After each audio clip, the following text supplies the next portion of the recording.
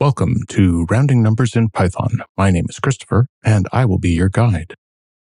In this course, you'll learn about rounding numbers, how there are multiple algorithms for rounding, the shortfalls of those multiple algorithms, how floating point messes all this up, and how the decimal class might give you something a little more precise than floating point. The code in this course was tested with Python 3.12, but there's nothing in here particularly new, and most of it likely would be the same even in Python 2. The rounding you were taught how to do in grade school likely isn't exactly the same as what Python does. It's close, but there are some edge cases that are probably different. In fact, there are many different ways of rounding numbers, ranging from the simple to the more complex. And unfortunately, almost all rounding algorithms will affect the shape of your data. If your data is a bell curve centered at zero, there's a chance the rounded version of your data is shifted left or right. This is one of the reasons there are different ways of rounding to deal with this problem. The other complication is that floating point numbers are not a precise numeric representation. And so when you round them, you might not see the behavior that you expect. Okay, next up, I'll start you on your rounding journey. You spin me right round, baby, right round, like a record baby. Depending on your age, you'll have to Google both record and the British pop sensation Dead or Alive, mm, or you can just nod your head at the dated reference and move on. In the previous lesson, I gave an overview of the course. In this lesson, I'll show you Python's built-in round function and why you should use it. The algorithm you were likely taught in grade school for rounding goes something like this. Pick the position to the right of where you want to round. If the value of that digit is less than 5, then throw away that digit and everything to the right of it. Whereas, if the value of that digit is 5 or more, increase the value of the digit to the left and chop everything else. But this isn't a math course, it's a Python course. Let's go use Python's built-in round function in the REPL. To round a number using the built-in function, you simply call the round function. Like before, 1.4 rounds to 1, and 1.6 rounds to 2, as does 1.5, and ooh, wait a second, that's a little unexpected. It isn't a bug. It's a feature, I promise. There is more than one algorithm to round numbers. And as with all sorts of choices in life, there are pros and cons for each of these algorithms. The built in round function uses what is called the half away to even rounding strategy, which is the default rounding rule in the IEEE standard that specifies how floating point numbers work. This course is all about the different kinds of rounding strategies and their consequences. But before going there, let's briefly talk about why you might want to round at all. Throughout this course, I'm going to be using a utility library I've written with a variety of rounding methods in it. The file it's in is called rounding.py. And here I'm showing the first method in rounding.py, which doesn't really round at all. It only truncates values, chopping the number off at the desired rounding point. All of my rounding functions take two arguments. Num is the number to be rounded, and decimals is the number of significant digits. Remember when I said that vague thing, pick the position to the right of where you want to round? Well, mathematically, the easiest way of doing that is to multiply the number by 10 to the power of the number of digits that you want in your precision. The value of decimals defaults to zero and 10 to the power of zero is one. So with the default, you're rounding to the ones digit. In this next line, I'm converting a float to an integer because that causes the value to be truncated. So that I can truncate at any decimal position, I first multiply, then convert, which does the truncation, then divide back down to the original magnitude. As an example, let's think back to 1.4. Calling truncate will multiply 1.4 by 1, which of course is 1.4, then convert 1.4 the float to an int, that truncates it to 1. It then divides it by the multiplier, which was 1, and 1 divided by 1 is still 1. And as this is a truncation method, even if the value was 1.99999, you're still going to get 1 as a result. Okay, With truncate in place, let's do a little experiment. Say you had $100 to play with on the stock market. And let's say the market fluctuates randomly, going up or down by some amount less than a nickel. It does this once a second. To emulate this market in Python, I'm going to loop through 1 million seconds, adding or subtracting a number between 0 and 0.05 to our $100. At the end, we'll see how much money is left. If the fluctuation is truly random, you should end up with something pretty close to 100 bucks.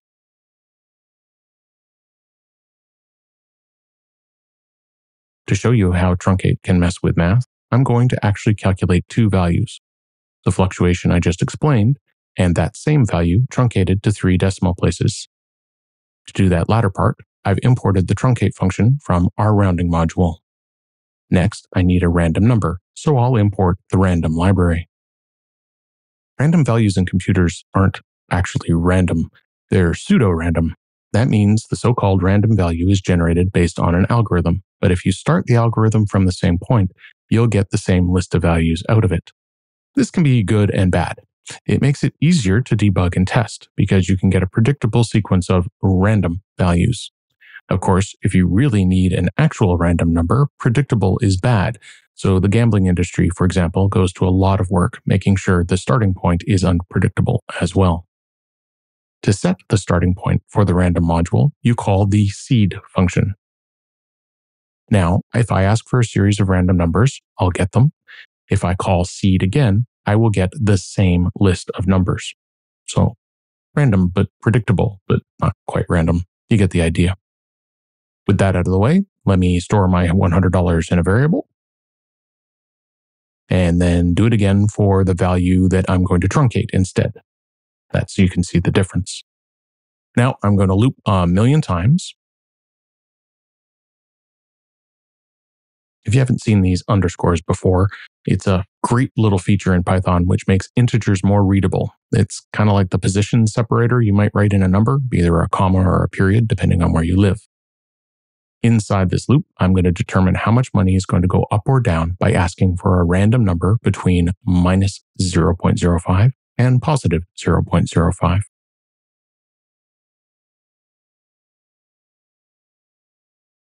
That fluctuation I'm calling delta. Then I'm going to actually apply the delta to my value. And then I'm going to do the same thing for the cut value, but instead I'm going to truncate as I go along.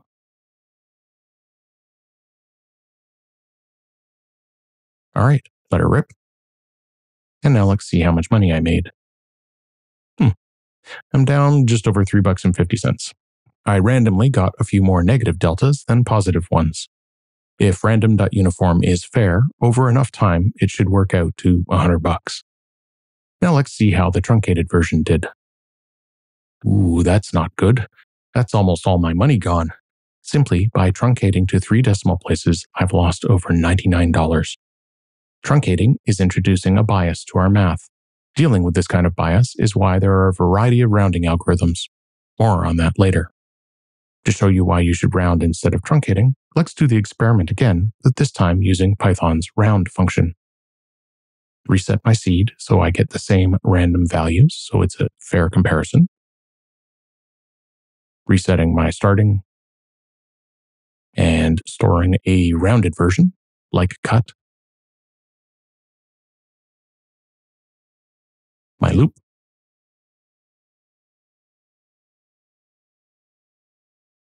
the same delta. Calculate the actual like before. And now, instead of calculating cut, I'm going to calculate rounded using the rounding method.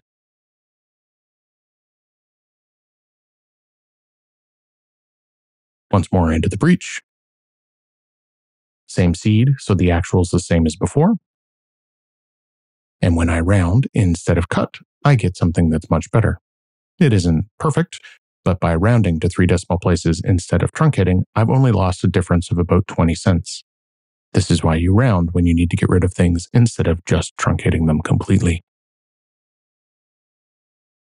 Next up, we'll start your journey across the land of rounding with rounding up.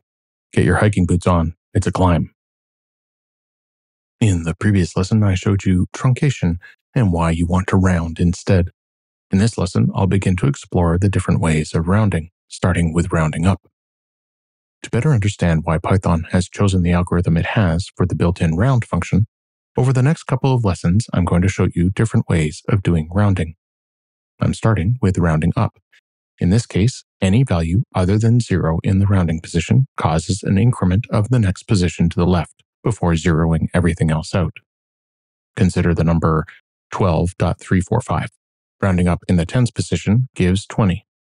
That's because the value in the ones position is bigger than zero, so the value in the tens position gets bumped up. Rounding up in the ones position results in 13 because the 3 in the tenths position is bigger than 0.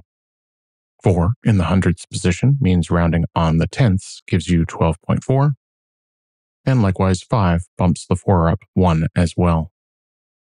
Let's look at some code that does this. To implement rounding up, I'm going to use the ceil function in the math module. Ceil is short for ceiling, which means to return the nearest integer greater than or equal to a given number. The ceil of 3.7 is 4. Ceil on a round number is itself, which makes sense as the closest integer to 2 that's greater than or equal to 2 is 2. Ceil on negative 0.5 is 0. Notice that it isn't negative 1. The closest integer greater or equal to means going up. Up from negative 0.5 is 0. Let's do another negative. And again, that greater than or equal to thing means going up, going to the right. Let's build this into a roundup function. I'm back in rounding.py.